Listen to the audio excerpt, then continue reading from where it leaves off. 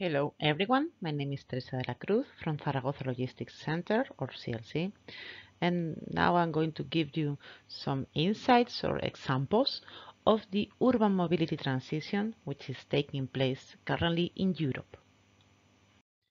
In Sprout, five cities, five pilot cities, tested different urban mobility solutions, assessed the sustainability and policy impacts of those solutions, and provided innovative policy responses.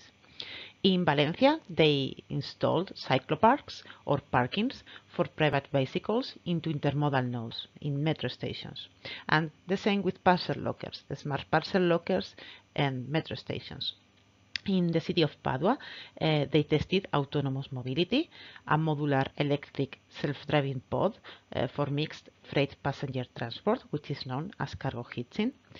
In the city of Cádiz, the, the, the, solution was around urban logistics. They developed uh, IoT-enabled smart parking for last mile deliveries in the city center. In Tel Aviv, three use cases.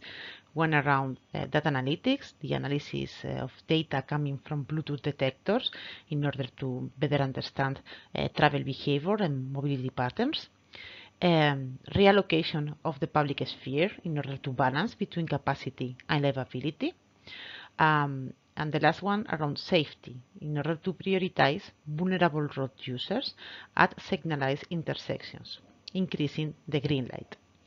And finally, in Budapest, uh, two different use cases, one around the creation of micromobility points and another regarding uh, traffic regulation to reallocate public space uh, to reduce the dependency to car, to vehicle, uh, private vehicle, and increase uh, pedestrian and cycling zones.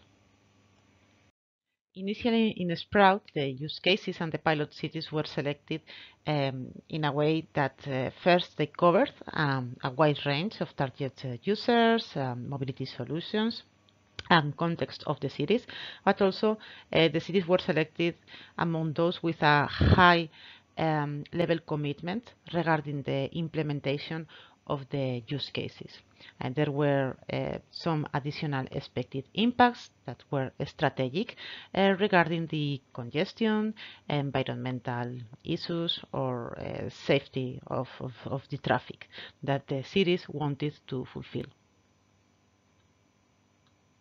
during and after the implementation of the innovative mobility solutions, uh, we identified together with the city stakeholders some potential or indicative policy responses answering to some of the local problems or issues hindering a sustainable implementation of the solution. Those are the ones in this slide. And in general, for the most disruptive solutions, uh, there was a need to speed up some administrative processes or modifying some public procedures. And it was also observed that regulatory changes pace is not in line with technology changes.